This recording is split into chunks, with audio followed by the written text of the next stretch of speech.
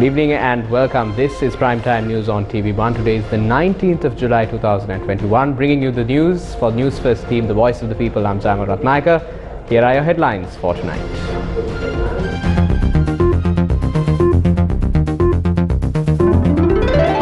President says he has eight more years to implement his policy. No confidence motion against Gammanpila tabled in parliament. මේ රටේ දෙසිය විසිපහ ගැන දැම්මුණු රටටම බලාගන්න පුළුවන් තෙල්මිල වැඩි කරනවට කවුද අත උස්සන්නේ තෙල්මිල පහත දමන්නට කවුද අත උස්සන්නේ කියන කාරණාව.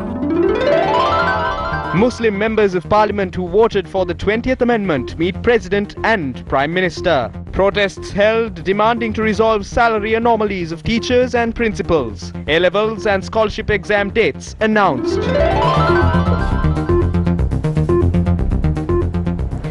On to your top story for this evening. President Gotabaya Rajapaksa today said that he has not just three years but five more years after that as well to implement his policies.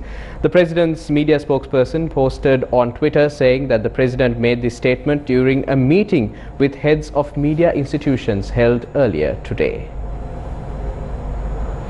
In more news, the motion of no confidence against Minister Uday Gammanpila presented by the Samagi Jana Balawegaya was debated in Parliament earlier today. The no confidence motion was presented on the grounds that the lives of the people already battered by the COVID-19 pandemic was made worse by the fuel price hike. The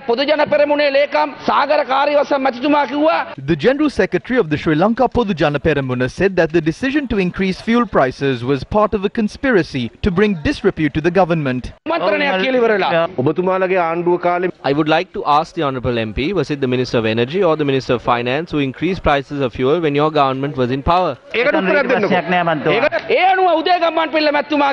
It was Minister Uday Gammanpila who said that the price was increased upon the written approval of the Finance Minister. I would like to ask you, was Sagara Kariyawasam referring to Prime Minister Mahinda Rajapaksa as the person who is conspiring against the government? Is that the reason why he was removed from the Finance Ministry and Basil Rajapaksa brought to replace him? When the bond scam took place, a motion of no confidence was presented. We as backbench MPs of the government pressured the then Prime Minister to remove him from that ministry. Not only that, Two other ministers during our time had to resign from their ministerial portfolios. We would like to know if today you can do the same. Minister Wimal Weerawansa is asking us about the fuel pricing formula. I don't know if he even knows what V1, V2 and V3 in the formula stood for. On average last year, the price of a barrel of crude oil was at about 45 US dollars. The price of fuel was not reduced even then. 69.2 billion rupees was deposited to the Fuel Stabilization Fund and we don't even know what happened to that money. We don't know if they will use their two-thirds majority to defeat this in parliament. But you have been disgraced among the public and you must understand that. I challenge you to bring Basil Rajapaksa here and allow him to make a statement on if the increase in fuel prices by Minister Udaya Gammanpila was right or wrong.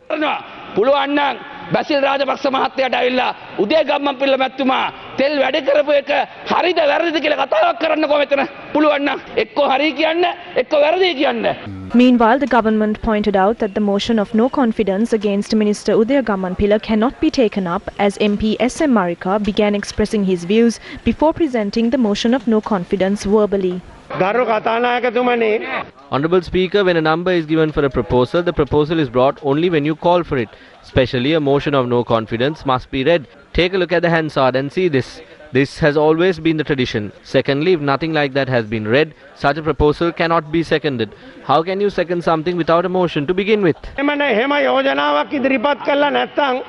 ඒ යෝජනාව ස්ථීර කරන්න බැහැ. යෝජනාවක් නැතුව ස්ථීර කරන්නේ කොහොමද? රනිල් වික්‍රමසිංහ මන්ත්‍රීතුමා කිව්වා යෝජනාවට ಸಂಶೋಧನೆ ಆಗ್ನೇನು ಹೋಗಿಲ್ಲ so I don't know whether he has an amendment if an amendment. An amendment you must move it at the beginning not an the at at the the the is over Hari Hari ಕೇವಂಡ್ Hari ಕೇವಂಡ್ ಯೋಜನಾ ಈಗ ಸಮಾಜವಾದಿ ಜನರಾಜೆ ಆಂಧ್ರಕ್ರಮ ವ್ಯವಸ್ಥಾವೆ ಮೇ ವಿವಾದೆ ಅತುಲೆ ಏಕ ಮಂತ್ರಿ Honorable Speaker, one parliamentarian cannot be allowed to speak twice during the debate. He has finished his speech. You cannot allow him to make another address. How can that be allowed? ඔබතුමාගේ කතාව ඉවරයි. ඒක ඒක බලවත් වීති ප්‍රශ්නයක්. කොහොමද එහෙම කරන්නේ? යෝජනාව ඉදිරිපත් කරලා කතාව කරන්න දන්නේ නැති තොත්ත බබා. කරුණාකරලා වාඩි වෙන්න. ඔයාට දෙපාරක් කතා කරන්න දෙන්න බෑ. Sit down. You cannot be allowed to talk twice. There is no tradition like that. Honorable Speaker, we need to bring a no confidence motion against those who do not know how to bring a motion of no confidence. පල්වෙනි කාරණාව බොඩුවට දැන් දෙපාරක් කතා කරොත් මේක විහිළුවක් වෙනවා අපිටත් දෙතු පාරක් දෙන්න ඕනේ නම් ඔබතුමා You will have to admit that you have made a mistake first. No. I'm sorry. You all have made a mistake anyway. ගරු කතානායකතුවනි Honorable Speaker, we are ready for the debate, so let us allow it to be read. කරුණා කල්ලා කියවන්න ඉඩ දෙමු අපි හරි. හරි කොහොමද? හරි අපේ අපේ අග්‍රාම අග්‍රාමාත්‍යතුමාට අපේ ස්තුතිය පුද කරනවා. කරගන්න පුළුවන් හරි United National Party parliamentarian Ranil Wickremesinghe presented an amendment to the motion of no confidence against Minister Udaya Gammanpila, stating that the motion should read that the House has lost confidence in the entire cabinet of ministers. In line 37, delete the word energy and add the words energy and all other ministers in the cabinet. Also in the same line, delete the word cabinet minister and add the word cabinet ministers. Anil Wickremesinghe Mahathyar ඔය සංශෝධනය ගේන්න ඉස්සෙල්ලා when Ranil Wickremesinghe was putting on his tie and coat this morning to come to Parliament and present this amendment, he should have taken a good look in the mirror and wondered, why did the people of the Colombo district lose their confidence in the leader of the United National Party? When the Colombo district has lost its confidence in the leader of this historic party, how can he shamelessly come to parliament and speak about the confidence in us? Mr. Kariyawasam, now you can escape thanks to Ranil Wickremesinghe. Now you can say, I agree that what Uday Gammanpila did was wrong. But since the amendment brought by Ranil Wickremesinghe mentions the entire government, I have to raise my hand against this. You can save face like that. There is no one in Sajith's camp to execute political deals like that.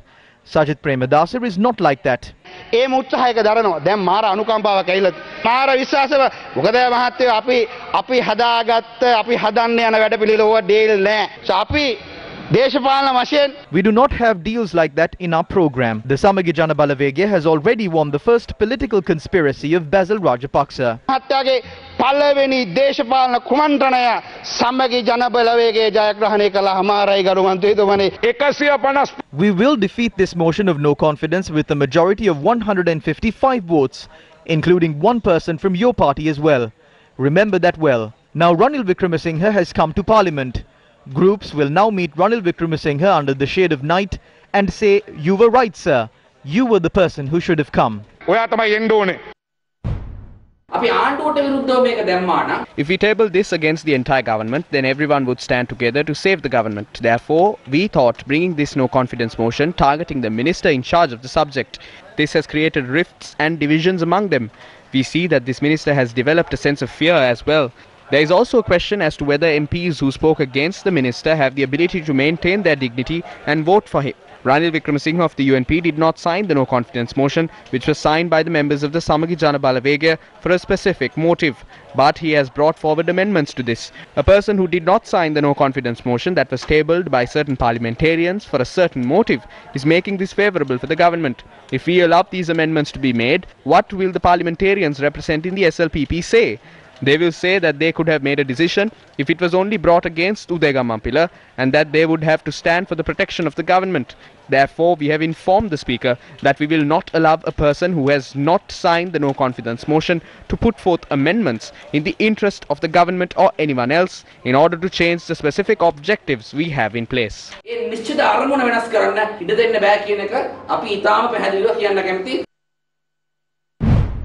These were the views expressed on the no confidence motion against Minister Udaya Pillai. If the Sri Lanka Podu Jana Peramuna MPs in the chamber have some shame, they should vote for the no confidence motion. Otherwise, they can vote against this. Udaya Pillai is the leader of the Pivithuru Hela but what he has done now is shameful. The refinery was owned only by the CPC. He had put forward a cabinet proposal to distribute shares among foreign and multinational companies. කියනකොට ලැජ්ජයි තෙල් පිරිපාදු අයිතිය තිබුණේ petroleum එකට පමණයි මේක විදේශිකයන්ට බහුජාතික සංවිධානවලට බෙදා දෙන්න එතුමා දානවා කැබිනට් පත්‍රිකාවක්. හම්බන්තර වරායි ගෙඩියට විකුණනක They were silent when the Hambantota port was sold off. They also signed the agreement with Sinopec and remained silent about it. Now they are acting like toddlers. අතයට ගණුදනුව ඉල්ලලා දැන් තොත්ත බබා. Tell him, tell him to present the facts. මේ සභාවේ ඕනෑම මන්ත්‍රීවරයකට If an allegation is being brought against a member of this house, a separate motion must be tabled. They can't do that by simply taking the floor. විට කතා කරන්න බෑ. මම කාගවත් නම කියන්නේ I didn't refer to anyone. Once there was a minister in Hantana, his hair is black. He served as the Minister of Highways. කොණ්ඩේ කලුයි. ඒ අමතිවරයා මහාමාර්ග අමාත්‍යංශයේ අමතිවරයා හැටියට ලක්ෂන් කිරියල්ල මන්ත්‍රීතුමා මෙතුමා මෙතුමා වැ- I am younger than the president. I don't want to conceal my age by using hair dye. මම ඩයිදාල මගේ වයසාගන්න උත්සා there is no කරන point of order මුළු රටෙන්ම බදු අය කරලා. When tax revenue amounts to 1,216 billion and when they spend 1,051 billion on the payment of salaries to state employees, how much will remain? There is a shortage of 815 billion to settle debt and interest. The interest on government debt can be paid only if there is a fourfold increase in VAT. We can make these payments, but we have to obtain money from someone. From whom can we obtain the money? This money can be obtained by imposing taxes on the public and not by bringing funds from Medamulana or pumping money to the treasury. If we need to change the situation, we must obtain loans. Otherwise, we have to sell off the assets. This is the situation in a household as well. ම මේ තත්ත්වය වෙනස් කරන්න නම් ණය ගන්න ඕනේ ණය ගන්න නැත්නම් තියෙන දේපල විකුණන්න ඕනේ. ගෙදරක තත්ත්වයත් ඒකයි. එදා අපිට hina වුණා. They laughed at this earlier. Will they laugh at this today as well? They laughed at this fuel price formula. According to the fuel price formula, the prices of fuel could have been reduced to 77 rupees. But what did the minister say? He said that a stabilization fund would be created. They didn't pass on the benefit to the consumer. නමුත් මොනවද ඇමතිතුමා ඇවිල්ලා කිව්වේ ස්ථාපිත අරමුදලක් හදනවා කියලා කිව්වා. පාරිභෝගිකයට තියෙන වාසිය පාරිභෝගිකයට ලබා දුන්නේ නැහැ. මේ ලබාගත්ත මුදල් ටික අරගෙන Did the minister take the excess funds to his house? It was a decision taken for the benefit of the country, for economic stability, and for the foreign currency reserves by holding discussions with the president and the prime minister. පිළිබඳව සියල්ල පිළිබඳව කල්පනා කරලා බල්ලා අධිකරු ජනාධිපතිතුමා හා අගමැතිතුමත් එක්කත් සාකච්ඡා කරලා ගත්තු තීන්දුවක් The Samagi Jana Balawegaya staged a protest near the parliamentary roundabout. The protest was centered around the no confidence motion against Minister Uday Gammanpila and the opposition towards the government for the rising cost of living. Leaders of political parties belonging to the Samagi Jana Balawegaya were among those present at the protest that was led by the opposition leader Sajith Premadasa.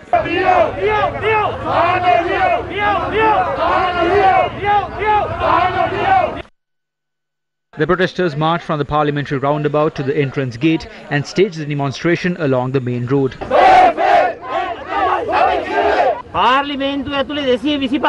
There are 225 members in parliament. By tomorrow, we can identify the patriots and the traitors. People are finding it difficult to live because the prices of fuel have been increased. Fertilizer has not been given to farmers. Fishermen have been affected due to the X-Press Pearl maritime disaster. The academic sector has been affected as online education isn't taking place properly. The lives of the people are at risk due to the absence of a proper vaccination program or a health care plan. The government has left the entire country reeling without offering economic packages to the people. We are trying to unseat the government with the power of the people. The entire country can now watch as to who among the 225 MPs oppose the hike in fuel prices and support a reduction in those rates. උස්සන්නේ තෙල් මිල පහත දමන්නට කවුද අත උස්සන්නේ කියන කාරණාව. මාස 16ක් මේ ඇමතිවරයා මහජන බැංකුවට ලංකා බැංකුවට ගෙවන්න තියෙන ඩොලර් ගෙවලා නැහැ. For 16 months, the minister had not settled foreign currency repayments to the People's Bank and the Bank of Ceylon. As a result, the entire banking sectors, including the People's Bank, the Bank of Ceylon, are facing a shortage of foreign currency and are heading into bankruptcy. This minister must bear the entire responsibility. We have also held similar positions. We settled our bills by purchasing dollars, but he hasn't settled a single bill since coming into office. The people are forced to face the brunt of this failure. මත්කමේ ප්‍රතිඵලය භුක්ති විඳින්න වෙලා තියෙන්නේ මේ රටේ ජනතාවට. මේ ආණ්ඩුව අද සම්පූර්ණයෙන්ම ෆේල්. මිනිස්සුන්ට කන්න නැහැ. This government has failed completely. People don't have food, farmers don't have fertilizer, people have lost their jobs. All sectors have been affected. This country is heading towards a famine. International reports suggest that the country will experience a famine by the end of this year. We will be bankrupt. Therefore, this government has nothing to do. They will have to go home. The protesters dispersed after the demonstration near the entrance of the parliament. What is the stance of the General Secretary of the Sri Lanka Podujana Peramuna, MP Sagar Kariyawasam, who was highly critical of Minister Udaya Gammanpila when fuel prices were increased? As a party, we informed the public about the stance of our party and the stance of our party members. Although we asked him to resign, we will not allow him to be removed by that opposition. That is the decision of our party. If he himself is resigning, that is a separate matter, but we will not support the opposition to forcibly remove him from his position. That is the decision of our party. ඉවත් කිරීමට අපි සහයෝගයක් ලබා දෙන්නේ නෑ ඒක පක්ෂ තීරණය ඒකේ ඔබතුමාලා පක්ෂයක් විදියට විශ්වාස භංගයට සහාය දෙන්නේ නැහැ. නෑ පක්ෂයක් හැටි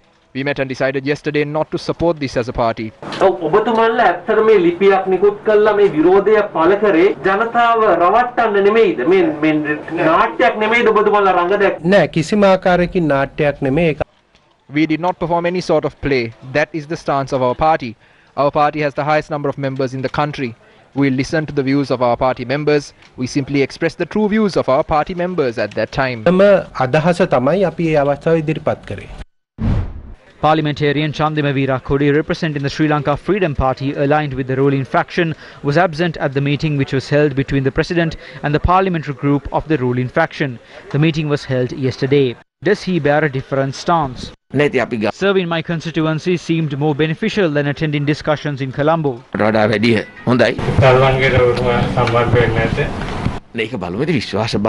Let us see. It cannot be done in a hurry.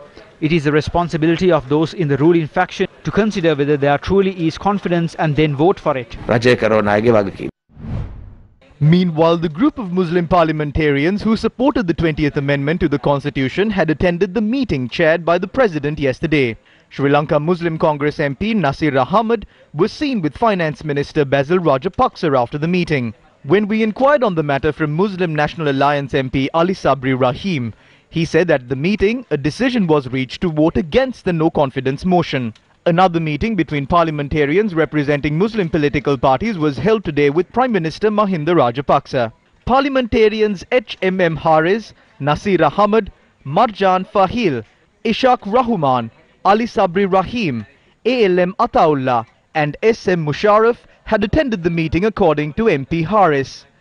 Besides MP Ataullah and Rahim, all other Muslim MPs who attended the meeting are members of the Sri Lanka Muslim Congress led by Rauff Hakeem and the All Ceylon People's Congress under the leadership of Rishad Bathiudeen. Shifting your attention from the political sphere of the country to various protests that are currently being held island-wide. Protests were held in several major cities island-wide today, citing several demands, including addressing salary anomalies of teachers and principals.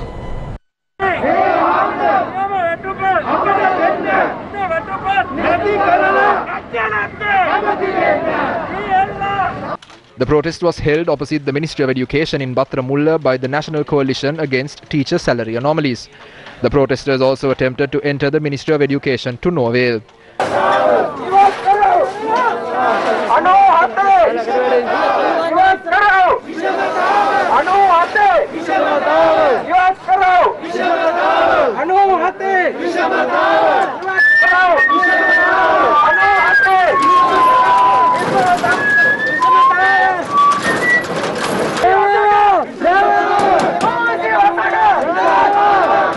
Later, several trade union representatives were allowed to enter the ministry premises and hold discussions with officials.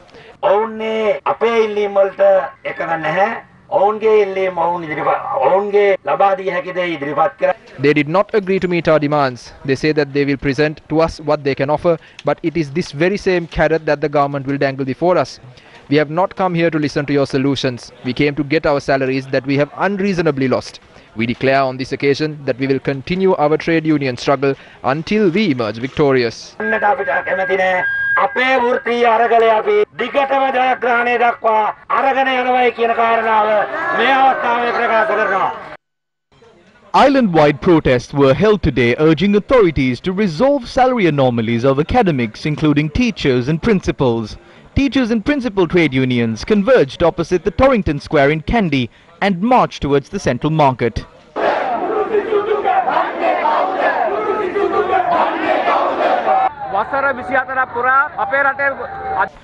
We oppose the inability of successive governments to resolve salary anomalies of teachers and principals, which has been existing for 24 years. We also oppose the KDU bill. We urge authorities to provide solutions to these issues. According to our correspondent, a group had applied paint in the area where the protest was due to be held. The Organization of Teachers and Principals Trade Unions held a protest march and a demonstration at the Kegalle town today.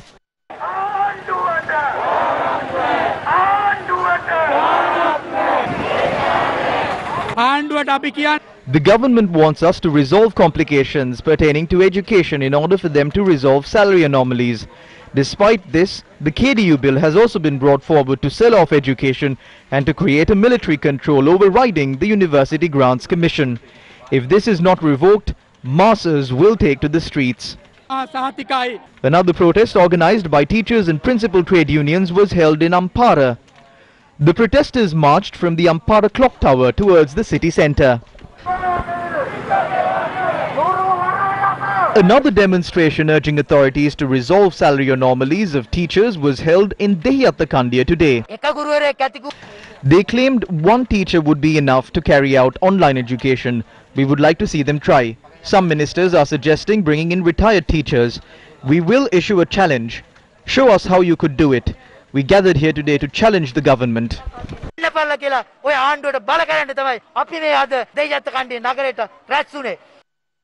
විශේෂයෙන්ම අද ගුරුවරයාගේ පඩියේ තත්ත්වය කුමක්ද? Let's consider salary scales of teachers. A grade 1 teacher is paid rupees 1493 per day. For 20 years, ministers of successive governments have conceded the remuneration teachers receive is low, but the issue has not been resolved. Teachers commenced online classes voluntarily and spent their own money. What is the government doing? They are assessing online teaching. No payment has been made for the one year and four months. The teachers are engaging in this task at their own expense. වෘද්ධකුත් මාස අතරක් ගුරුවරු තමන්ගේ වියදමෙන් විදුවල්පතිවරු තමන්ගේ වියදමෙන් තමයි මේ අධ්‍යාපන ක්‍රියාවලිය කරගෙන යන්නේ. The dates of the advanced level and grade 5 scholarship exams were announced today. අධ්‍යාපන පොදු සහතික උසස් පෙළ විභාගය This year's advanced level exam will be held from the 15th of November to the 10th of December. The grade 5 scholarship will be held on the 14th of November. November 14 වන ඉරිදා ප්‍රමාණවත් පරිදි විෂය නිර්දේශයන් ආවරණය නොවුණු පසුබිමක How can they conduct the advanced level exam when the syllabus has not been covered? It is regrettable to note that they have been unable to conduct practical tests for at least one subject. Students who are expected to attempt the exam for the first time have only faced one term exam. We are calling on government officials to avoid taking irresponsible decisions and toying with the lives of children. Provide sufficient time to cover the syllabus. Don't conduct the exam on the 4th of October. Postpone the exams. Several other protests were held across the country highlighting a plethora of issues. An individual engaged in silent protest opposite the Kaduwela Expressway entrance earlier today. The protesters cited strategic efforts to violate the fundamental rights of the people as the reason behind the protest. Protests have continued across the island with regard to the unresolved fertilizer issue. This was the protest held at Katanvila Junction in Akuressa today. We know the people of our country are suffering now. We are sorry about this. This is because of the destruction that has befallen this country today. Today, the people of our country have nowhere to pull through. They have nowhere to live their lives, nowhere to eat. Everyone has become very helpless. However, the government is carrying out carnivals to hoodwink the people of this country. This is really the case of the government having done the best thing in the worst way. Sri Lanka is yet to start the production of organic fertilizer scientifically within the country. We still manufacture organic fertilizer using the feces of animals like chickens. This isn't a scientific method. Before manufacturing organic fertilizer, the importation of chemical fertilizer was stopped. This fertilizer matter was also an election promise. Even in the case of chemical fertilizer, they do not bring the best in the world, they bring the dust. The reason behind these is that they made these tea plantations also a part of their election promises. The farmer, the tea smallholder never asked for free fertilizer. They wanted good quality fertilizer. What they brought down was the dust. ඉල්ුවේ හොඳ On to some concerning news from neighboring India.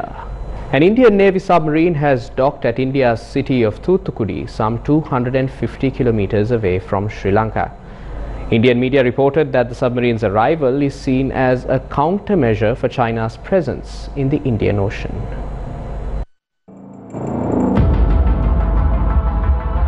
The INS Sindhushastra submarine had docked at India's Thoothukudi port due to a technical glitch and also for refueling and obtaining basic necessities. The submarine is expected to remain at the port for another week. India's High Commission in Colombo said it would not comment on operational matters, including those concerning the Indian Navy. The High Commission said decisions including the deployment of submarines are made by Indian authorities considering several factors. This includes operational requirements and the protection of India and her interests. Some reports suggest that the submarine may have arrived ahead of a military exercise with other Indian vessels and a British naval force. According to these reports, the military exercise comes as India strengthens its naval force to counter China's growing influence, including in Sri Lanka. Indian media reported that China has taken steps to increase its naval capabilities with Sri Lanka, while Chinese companies have leased ports in the country. The reports add that tensions in India's northern part of Ladakh haven't subsided as China continues to cross the border region. Meanwhile, the Indian Air Force has also made preparations for fighter jets to land on India's national highways. The East Coast Road is being constructed from Nagapattinam to Kanyakumari to facilitate the supply of military equipment and the landing of military aircraft. Last Friday, the Indian Air Force landed two fighter helicopters on a runway in the western city of Jalore. This is done as an initial trial. Allowing such landings during war and emergency situations is expected to support the Indian Air Force in some operations. As India strengthens its military security, a controversy has arisen over an illegal sea cucumber farm run by a Chinese company in Kilinochchi. NJ Bose, a leader of a fisheries union in India's Tamil Nadu, said India must be allowed to fish in Sri Lankan waters if China has been given that opportunity.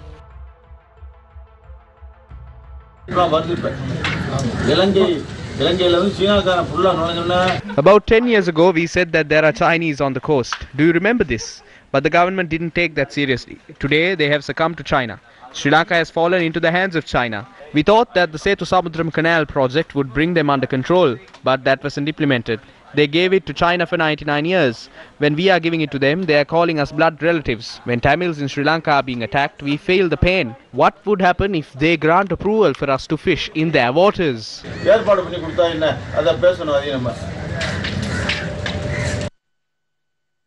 Colombo Additional Magistrate Lochani Abeywickrama issued a stern warning to a Chinese youth and four Sri Lankan youths arrested by the foreshore police for trespassing into the Colombo port premises.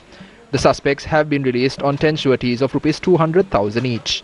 The suspects were arrested on charges of entering the port premises illegally while impersonating another individual and aiding and abetting in the same. The foreign suspect is a Chinese national working on a special project in Colombo. Although legal action was taken in such a manner against a Chinese national who attempted to enter the Colombo port illegally, no action has been taken against the Chinese nationals involved in the project to dredge the Tissamaharama River. The people saw how the Antiquities Ordinance, the laws on military uniforms, and Tobacco and Alcohol Act were violated by the group engaged in the dredging of the Tissamaharama River. Against the backdrop where the law has clearly been violated here, was action not taken against those involved due to the involvement of a person in a place of power. Concessionary loans are one or some of the best forms of relief for families, especially who earn daily wages. However, many families in Sri Lanka are yet to receive any sort of relief after being severely impacted by the COVID-19 pandemic.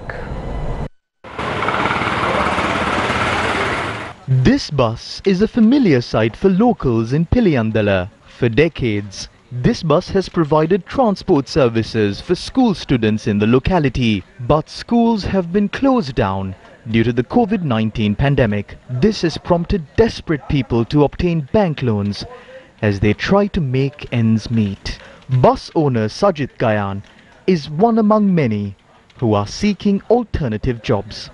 His bus, which was once used to transport students, is now a mobile vehicle selling big onions.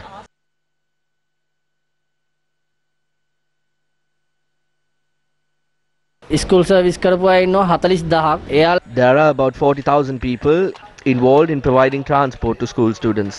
About 140 to 150,000 people depend on this industry. There are some new buses where they have removed the seats and are now transporting bananas.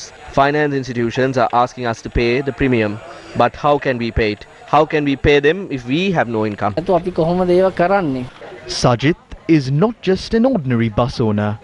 He is part of an industry with similar people. Many who depend on this industry to feed their families are now in dire straits. Delays in offering some form of relief to people like Sajid will only speed up unemployment rates in the country. President's Counsel Sanjeeva Jayawardena has been appointed to the Monetary Board of the Central Bank of Sri Lanka. President's Counsel Sanjeeva Jayawardena will serve as a member of the Central Bank's Monetary Board until June 2027. He currently serves as the chairman of the Monetary Board level External Debt Monitoring Committee and the chairman of the Board Risk Oversight Committee. He also chairs the Ethics Committee of the Central Bank of Sri Lanka. Moving on in more news, Moody's Investor Service has placed Sri Lanka under review to further downgrade its rating. Sri Lanka's ranking stands as CAA1 in the Moody's Index. The CAA1 ranking is given to countries with a poor standing and are subject to a very high credit risk. Moody's said this ranking has been placed under review as Sri Lanka's fragile external liquidity position raises the risk of default. It added that the assessment reflects weaknesses in the ability to take measures that decisively mitigate significant and urgent risks to the balance of payments. Moody's has predicted Sri Lanka's foreign reserves to continue to decline, thereby eroding its ability to meet debt servicing needs.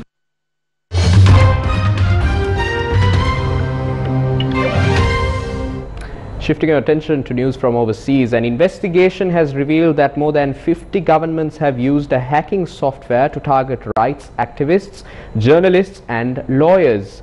An Israeli surveillance firm had sold the software named Pegasus to these countries. Foreign media reports that more than 1,000 people from over 50 countries have been targeted by governments using Israel's Pegasus phone malware.